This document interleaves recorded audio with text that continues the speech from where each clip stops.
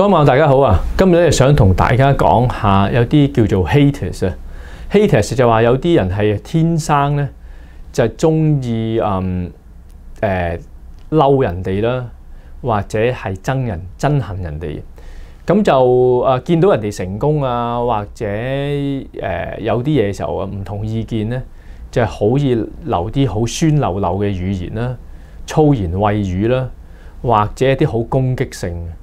誒、有一個朋友亦都曾經講過，誒、haters 咧係會令到自己更加誒、有個激昂嘅鬥志咧，就令到自己進步。咁我自己個人就唔係咁欣賞呢一種心態，因為呢種心態咧會到令到自己唔係咁開心咯。即係你走去鬧人哋，話人哋就算佢，哪怕佢一百個唔係都好。咁可能係佢自己誒、有問題啊，或者係有啲咩嘢嘅時候，咁你走去誒咁、酸溜溜，唔係用一啲叫做理性嘅討論嘅時候咧，我覺得就失咗嗰個成個人做人嗰個風度啊，同埋風采啊，係唔漂亮嘅一回事啦。即係好似變咗誒潑婦罵街咁樣，咁。個人就完全唔 elegant 唔高貴咯。咁你有翻自己嘅氣質嘅時候，誒、呃、擺道理去講，咁我覺得成件事會係好。同埋誒每一個人佢都有佢嗰個長處、短處、優點同埋缺點嘅。咁你淨係放大佢嘅缺點，唔睇佢嘅優點嘅時候咧，你有好多嘢係會誒 miss 咗，即係。失去咗，咁有啲人誒、最近成日攻擊有一個 YouTuber 啦，就話佢誒即係一個掣就可以變幾億嗰個人士咁嘅時候，你淨係睇佢誒呢啲誇大嘅言辭啦，誒、呃、覺得佢討厭啦，咁呢個係佢嘅一面啦。咁但係另外一面值得欣賞嘅係佢嘅勤力啦。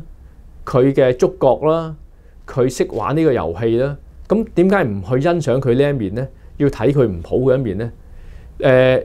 誒、好多誒、朋友有誒、成功有失敗，誒、喺失敗裏面都可以揾到一啲值得學習嘅地方，即係好似好多歷史咁樣，有啲人從高峰跌落嚟，好似拿破崙啊，好似希特拉啊，好似袁世凱啊。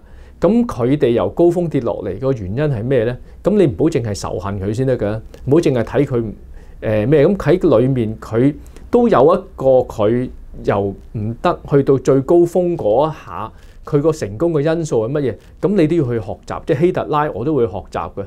有一個圖書館管理員可以去到一個國家元首，可以策動到戰爭。咁佢哋係靠咩咧？咁你唔好淨係學佢誒。唔好嘅嘢，咁佢有好多誒、值得學習嘅嘢。